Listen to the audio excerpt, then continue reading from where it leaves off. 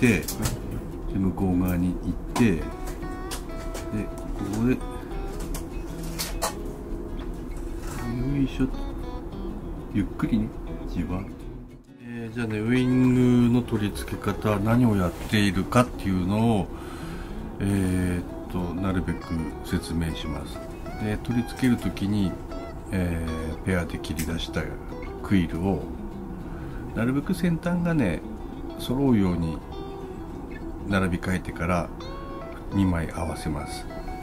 左右で合わせておきます。で取り付けたい長さのところに置きます。でこの置く時にちょっとだけテールが沈むような形に持ってるとあの置いとくと都合がいいです。どうしてもね最初のうちはねこう跳ね上がりやすいんでこれが下を向くような形こう押さえつけるような形に置いておくと良かったりもします。慣れてくるとまっすぐの状態でまっすぐにつきます。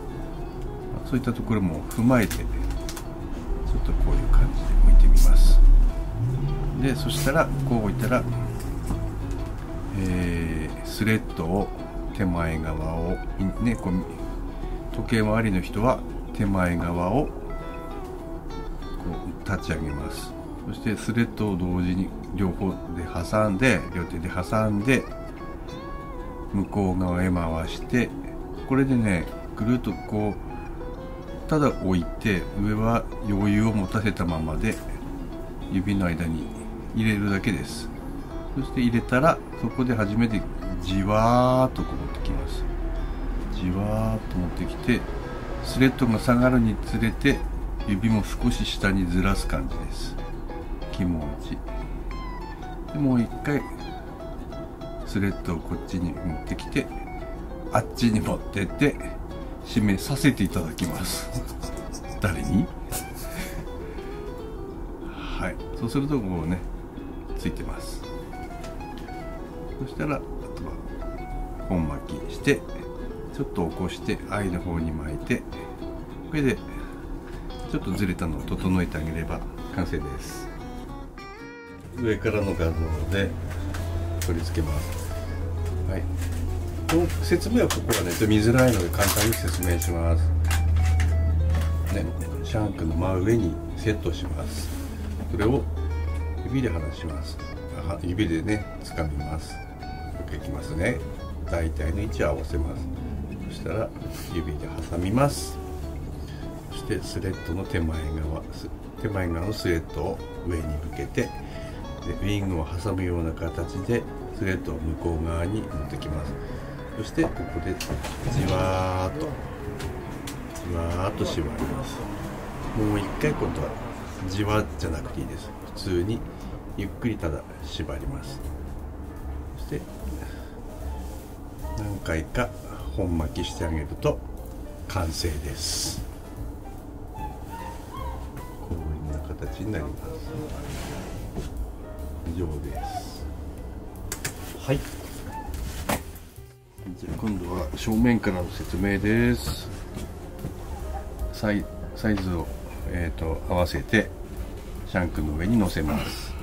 指で挟みます。そして手前側にスレッド立ち上げて向こう側にスレッドを置いてきてじわーっと締めていきますはいもう一回。はい。そしたらこう1回2回ぐらい締めたら愛の方で本締めをしてあげます。そうするとここブラブラしてもウイングが動きません。そしたらあとは本締めしてカットしてヘッドを作って終了です。こういった感じです。以上です、じゃあねウイングの取り付け方何をやっているかっていうのをえーっとなるべく説明します。で取り付ける時に、えーペアで切り出したクイルをなるべく先端がね揃うように並び替えてから2枚合わせます。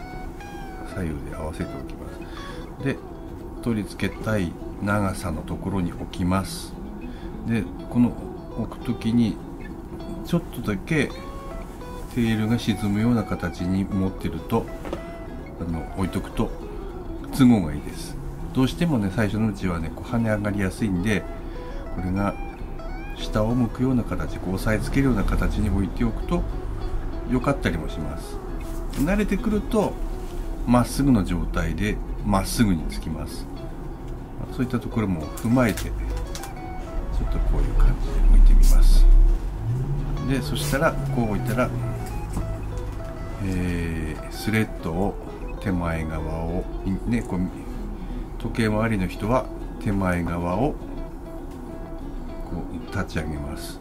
そしてスレッドを同時に両方で挟んで両手で挟んで向こう側へ回してこれでねぐるっとこうただ置いて上は余裕を持たせたままで指の間に入れるだけです。そして入れたらそこで初めてじわーっとこう持ってきます。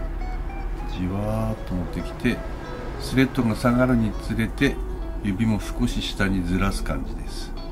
気持ち。もう一回スレッドをこっちに持ってきてあっちに持ってって締めさせていただきます。誰に？はい。そうするとこうねついてます。そしたらあとは本巻きしてちょっと起こして愛の方に巻いてこれでちょっとずれたのを整えてあげれば完成です。以上です。